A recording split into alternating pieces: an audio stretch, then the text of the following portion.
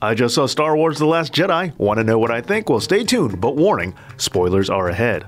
Let me start by saying that I realize everyone runs in different circles, but in my particular circles, I've heard before going into this movie two very contrasting overall opinions. One, people saying that the movie was great and on par with the likes of Empire. The other opinion was that the film was a disappointment. Now, where do I fall on this list? Well, I am a bit of a gray Jedi on this one because I am right in the middle. I think the movie was okay. I liked parts, I disliked other parts. It was just alright to me. Is it better than Empire? No way, it's not even close. Is it better than all the prequels? Definitely, by a long shot. So, alright, let's start by talking about what I did like. I liked that this film had a focus on being its own thing and that the message was stripping away the old guard, letting you know that this film was not an Empire clone. Whoa, Empire? Attack of the Clones? Both middle of their trilogies? Just like The Last Jedi?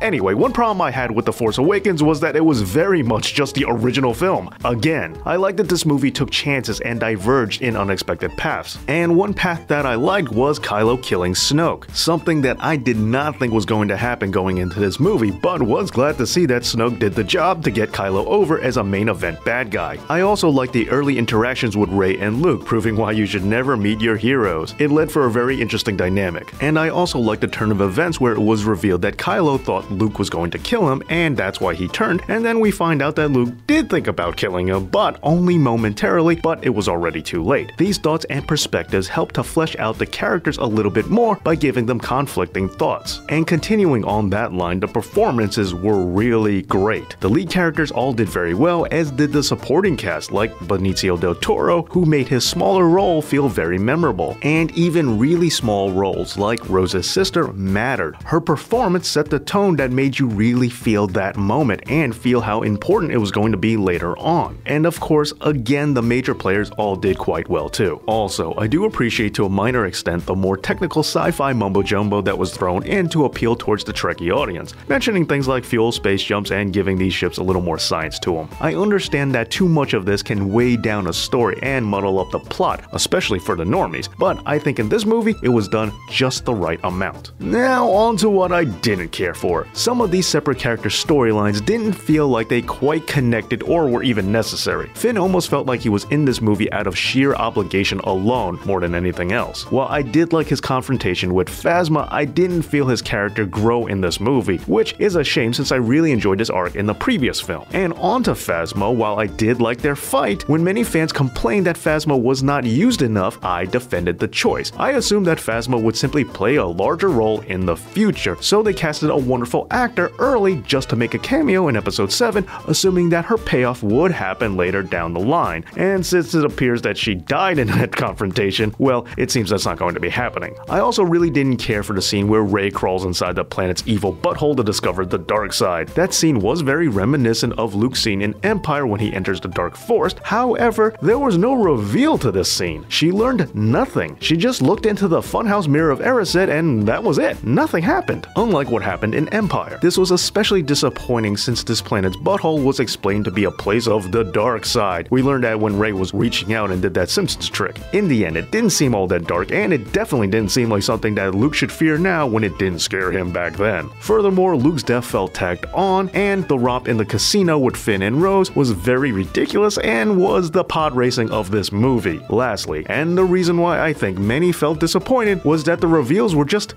bad. I didn't like Rey's parents turning out to be nobodies. Sure, I know some people are really enthused about that. However, it felt like they were directly telling the fans that her parents are just regular people and that the whole mystery surrounding it that everyone got invested in was all for nothing. And I have no problem with non-Skywalker or non-solo characters entering the fray. And I don't feel like everyone has to be a new Kenobi or whatever for these films, and that some major characters having no affiliation with previous ones are good. However, why did they build a mystery and keep everything vague just for nothing. Why hype it up if there's no follow through on fan expectations? Which is also something I could say for Snoke. While I did like what happened, I still wish I had more information on him. Ultimately, while I liked how some characters went through significant changes and have an interesting journey that has nothing but possibilities for the next film, there are some characters that I wanted more information on and thought that there were some big missed opportunities. So all in all, I like this movie okay enough, although I like The Force Awakens more. But what did you think? Let me know down in the comments how you felt about Star Wars The Last Jedi. And please like and subscribe. And also, don't forget to keep it here for your comic book news. Thank you so much for watching, and this has been Dave Knows.